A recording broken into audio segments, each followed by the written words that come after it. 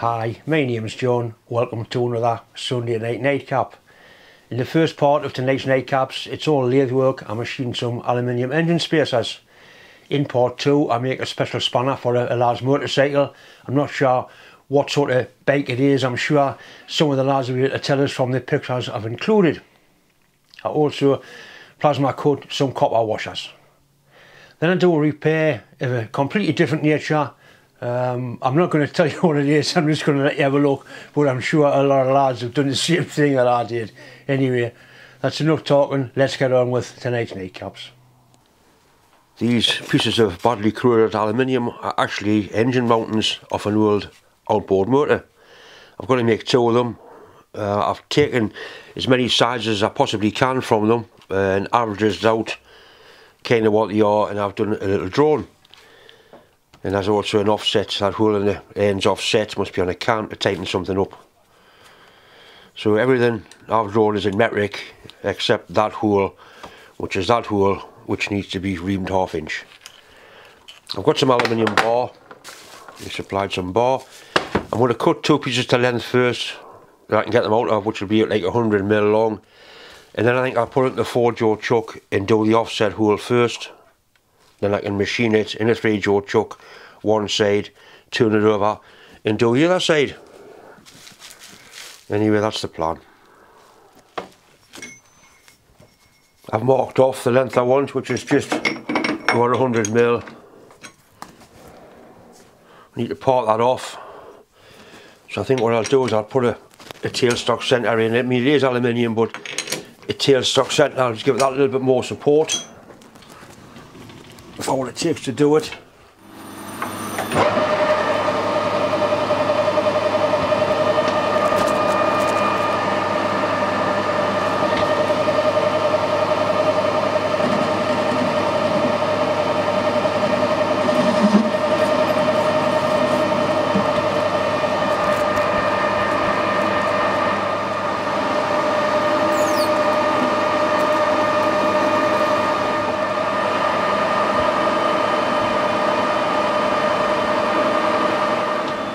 The chuck to line up the, the parting tool, make sure it's nice and square to the job.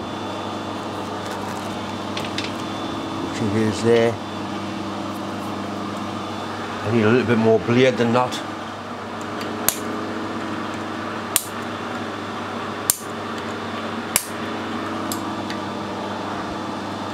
Right, that'll get through there. Need enough to cut through, but no more keep it as rigid as possible. I don't know what grade aluminium this is.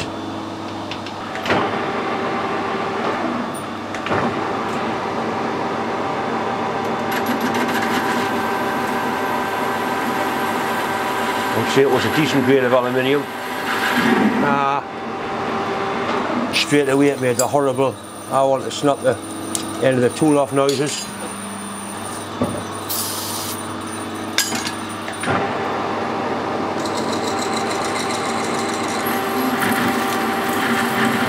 Like and slow down a bit.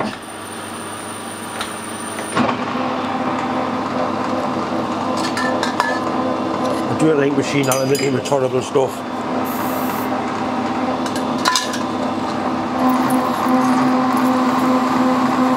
That's better, was possibly trying to melt the aluminium.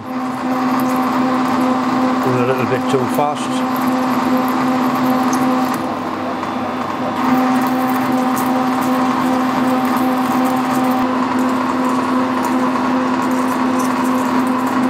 first sign you get of a problem is that you hear a, a noise. And then you've got to know when to get the tool out quick.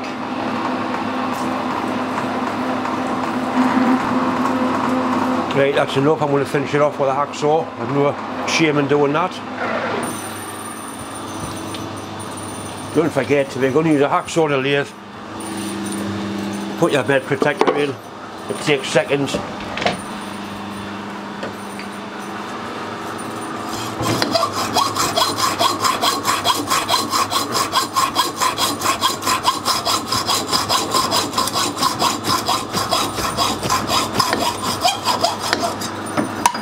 means you can break through and not damage the bed.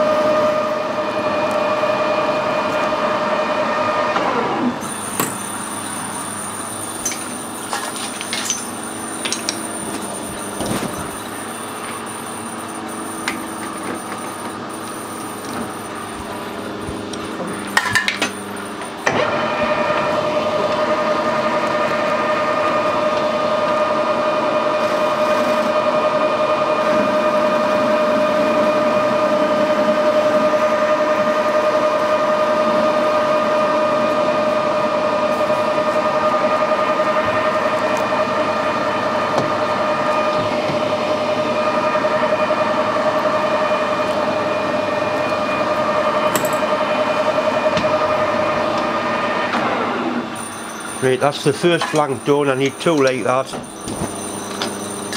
I put it on the milling machine just so I can accurately mark the 7mm offset. There's nothing to really stop us drilling it on here because I've got plenty of material so I need to go all the way through to the bottom. So the first thing I do is wind in the 7mm of offset.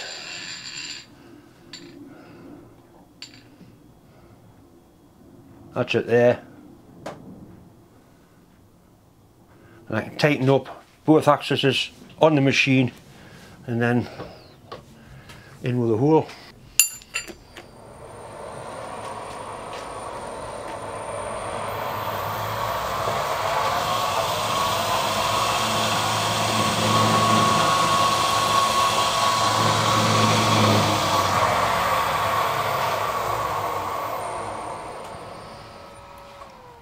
Carry on drill it on here or put it a four jaw chuck. It doesn't make a, a great lot of difference uh, because the, the drilling the drilling machine, the milling machine does run nice and true. Right, four jaw chuck. Unfortunately I've lost a bit of video. Uh, the stage I'm up to is I've finished machined that to size and I've set it up the four jaw chuck on the offset ready to drill the hole. I'll zoom in a little bit so you can see the gauge. Right, so that's within a thou or so, so that's pretty good. So I'm going to drill the hole in there, same with the other one, then I can put them in a 3 jaw chuck grip there and just machine the other end. I've got a mark there where I know the, the length's got to be.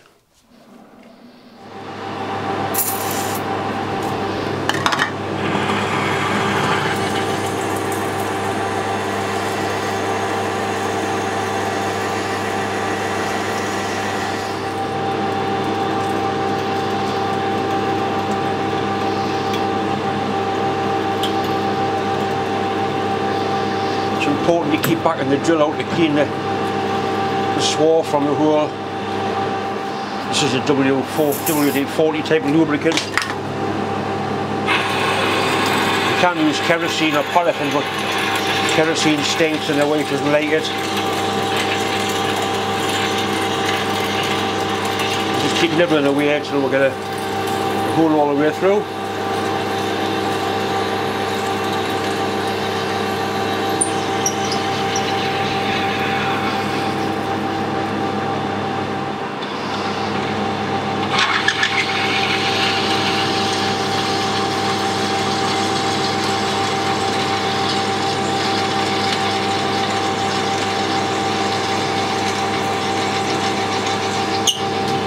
That's the drill all through.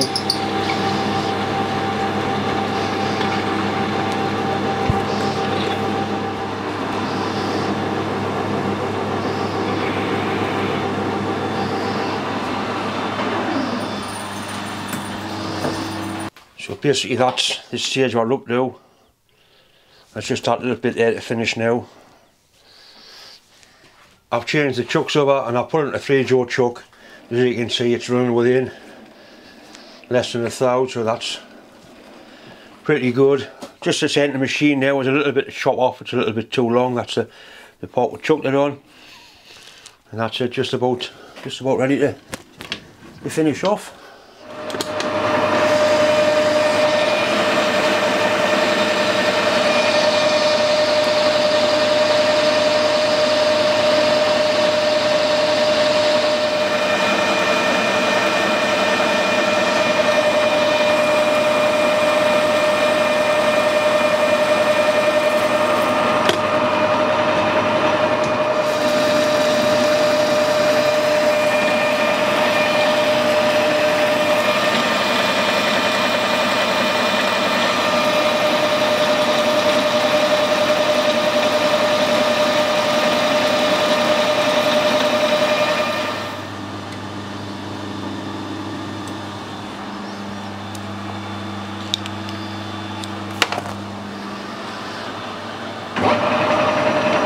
should be the last cut.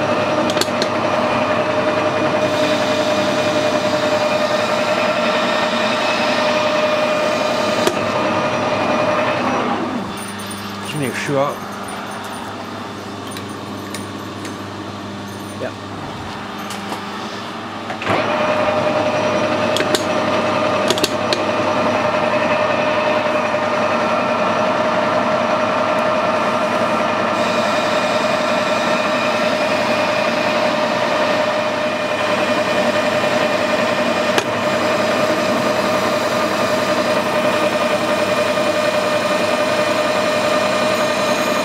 Right, and that's the full depth on that.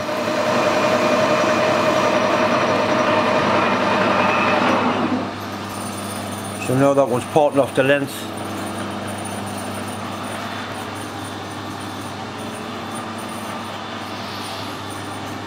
I think I'll just turn it away because there's a, a hole in there and the parting tool might dig in. I don't want to break another parting tool. We need to be 28 from there. Zero. 28.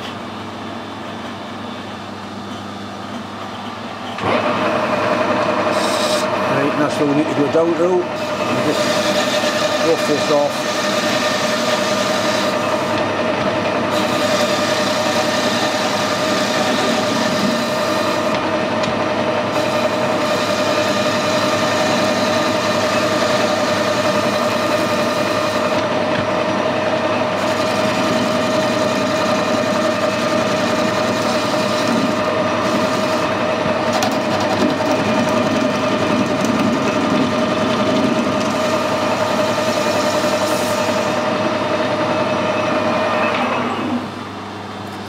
Right. 28.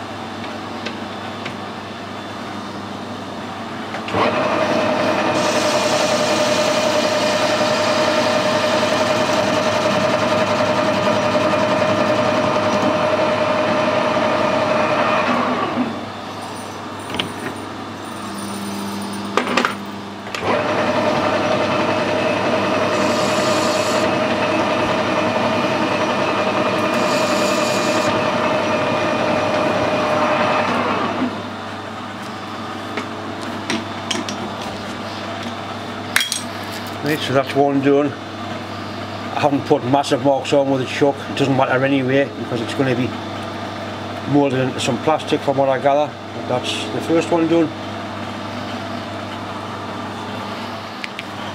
Before I'm finished with the threaded aluminium I've got a little space that I got to make but one mil longer. I'll get it out of the end of there.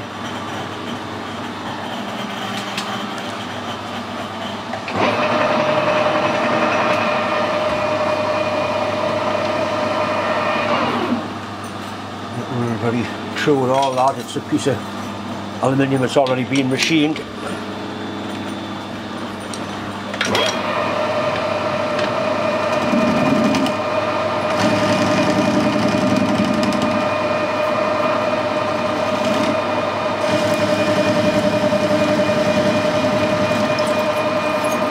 definitely a different grade of aluminium, or I've just been machining.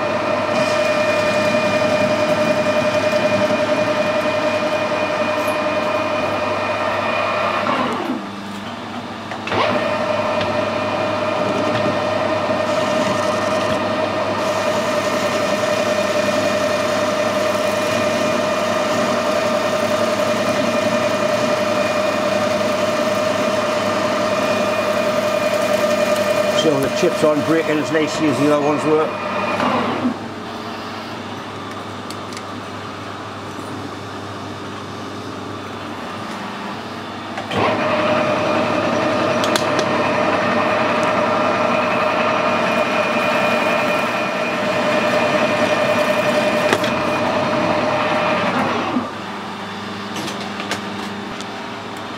All I do in a case like that is zero the vernier on the diameter I want. And then put the vernier onto here and you're going to get, you're going to get a direct reading a 1.35 off there to bring it down to size.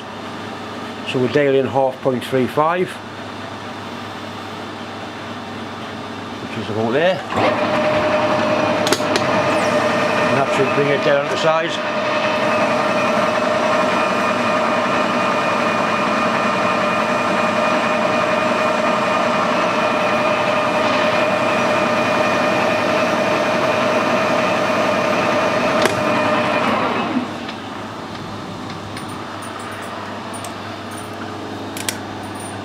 it is.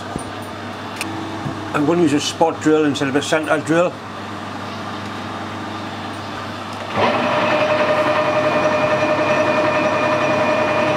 The spot drill is a same angle is the drill we're going to use centre drills are really the angle of the centre.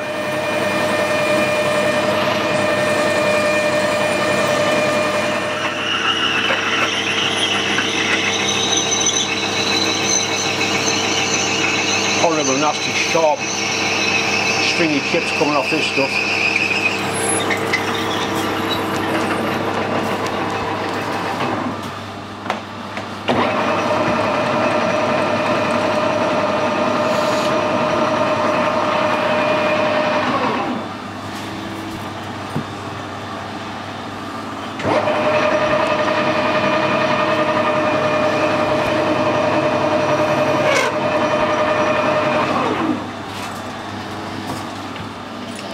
Right, want 18.7.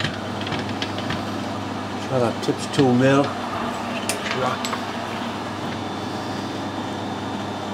It is. So touch that off gently on that face. Zero DRO. 2 mil. Right, that puts us right on the end. Zero that again. And then we wanted 17.65. I'll do 18 then turn it around and face it.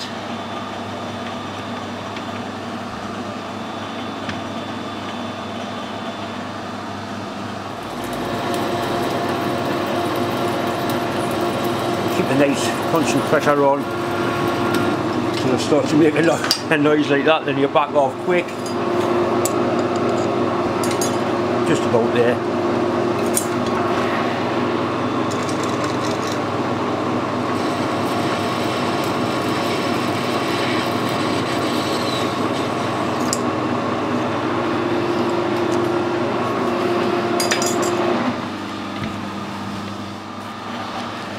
We want pond three off the end of this bush to give us the length we require.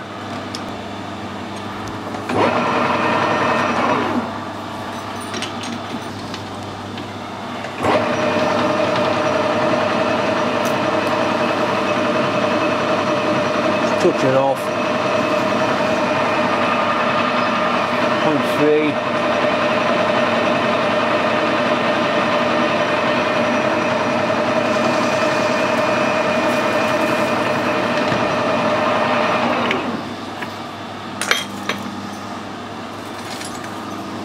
Chamfer on the end just so it looks like somebody cares.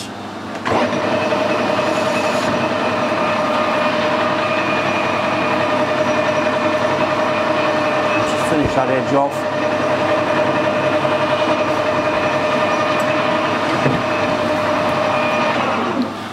Right, and that's the last of the aluminium. So now I can clean the lathe off and I think I've got a flywheel lighting next. That's his little spacer one mil longer than that one.